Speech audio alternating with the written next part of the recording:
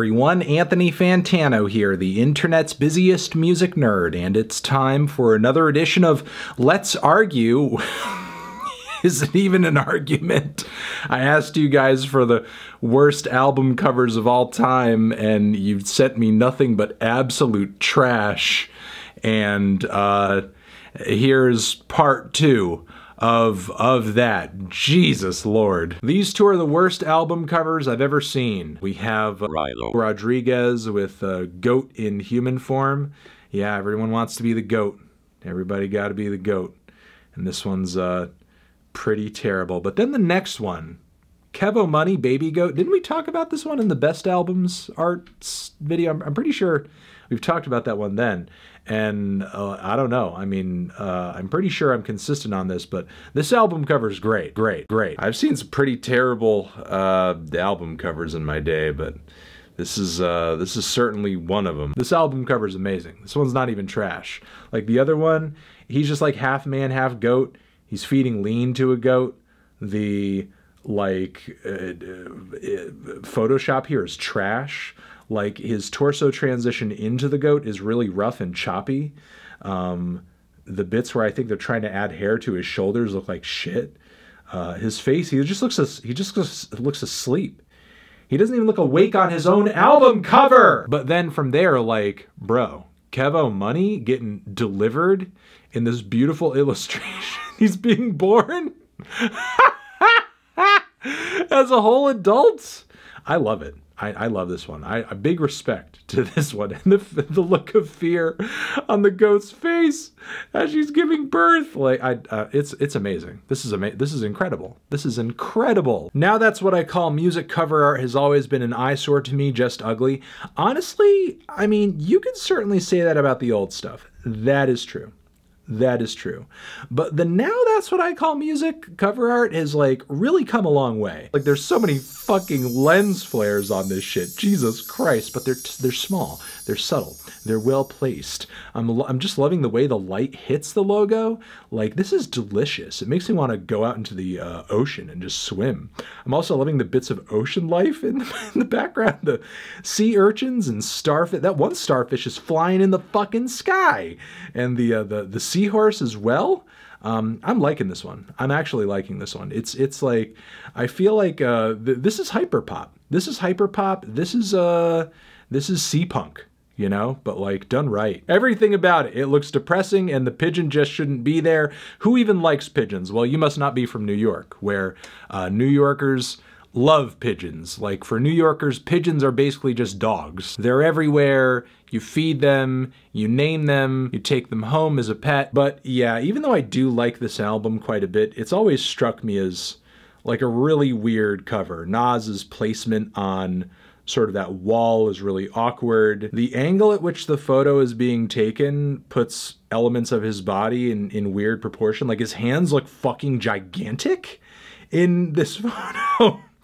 And just like the the tracksuit he's wearing, man, like it's so tacky and just doesn't really uh, play that nicely against the grimy cityscape behind him.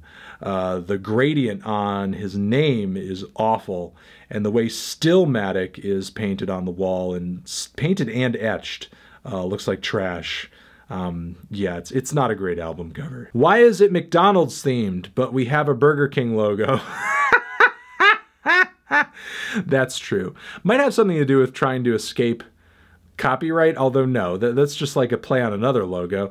Yeah, I, I, have no idea really. I truly honestly don't. But honestly, like for this time period in Gucci's career, like this isn't even the dumbest or tackiest looking mixtape that he's done. Like there are way worse ones that he's done. Ruzel, Stern, and Gurgle Stocks. nail dilemma. Just use your imagination on what this is. The CD case came packaged with hair as well. Jesus Christ, this is disgusting.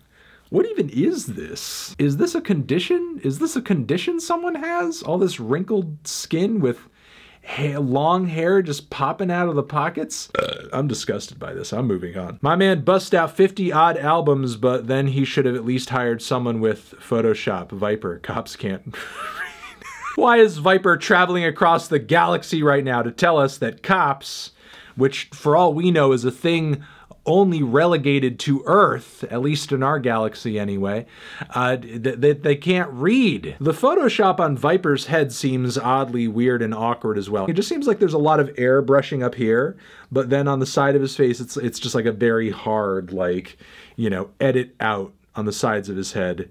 And that ear, man, you, you really fucked up that ear, bro. You fucked up that ear almost as bad as uh, Pop Smoke's ear got fucked up on, on Virgil's album art. Trapaholics, Jose Guapo, Osama bin Guapo. the edit of the face on Osama bin Laden's body is terrible.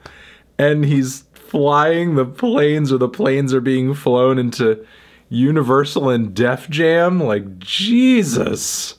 Uh, and oh, I, I didn't notice the chains. Wow, the chains look terrible. Not only that, but it looks like the same chain copied like three times, but just like different sizes. this is terrible. Borgore. The art of gore is gross.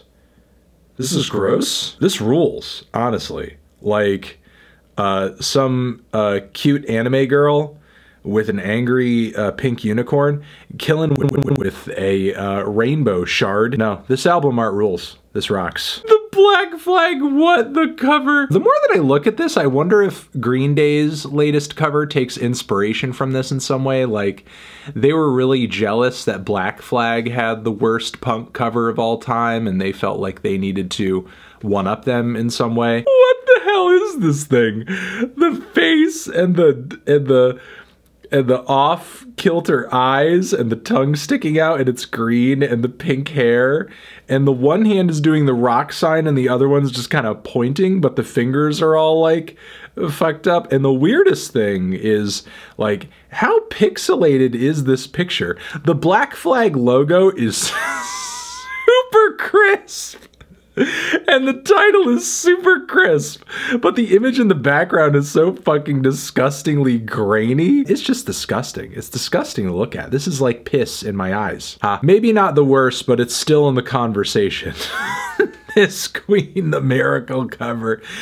It looks like something from a from a fucking Hellraiser movie. I'd be horrified for sure. You know, you got like uh, a Pinhead, and you got fucking what is it, the Big Lips one that, that has the huge smile or mouth or something, and the the other weird ones, and then this fucking thing, the four members of Queen with their faces all melted together. I'm also loving how Freddie Mercury is the only one who's both of his eyes are intact, it seems, whereas everybody else is sort of like sharing an eye. But Freddie Mercury, he's he's got both the eyes. That's that's really saying a lot about the, uh, you know, I, guess I guess who who who really wears the pants in the band? Maroon Five Red Pill Blues looks like a Stan account made it. If Maroon Five had any stands. How are there this many people in Maroon 5? You could make Maroon 5's music with like three dudes. Why why why are there seemingly seven dudes in Maroon 5. Ugh! Why would Fat Mike do this to me? And you guys were disgusted at the uh, the uh, the Ariel Pink cover with the guy kissing the dog. This is worse. This is worse by every metric. Ugh! Like I'm just I'm I'm looking at this and and it I, it just. I'm getting the smell of a really bad farm in my nose, and I just want to leave. I just, ugh my my allergies are getting triggered just with all the dander, like in the in the in the sheep crotch. Ugh. Uh, yeah, I mean, I mean, this is this is. Uh, I'm I'm viscerally having a reaction to this. Smash Mouth magic. I don't think I've ever seen this cover before. This is real? Half of it looks like some terrible shit you grabbed off of Getty Images and then just sort of like, you know, purchased to work into this album cover. What is this? When did this come out? I'm I'm totally unaware of how this came together. I was totally unaware of its existence until now, and uh, yeah, I guess I'm not uh, uh, surprised.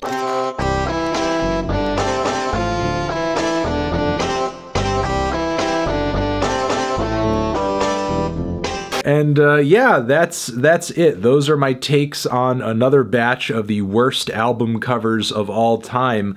Uh, these are terrible, uh, but you're great. You're fantastic for watching. Mwah. love you. Over here next to my head is another video that you can check out. Hit that up or the link to subscribe to the channel. Anthony Fantano, let's argue forever.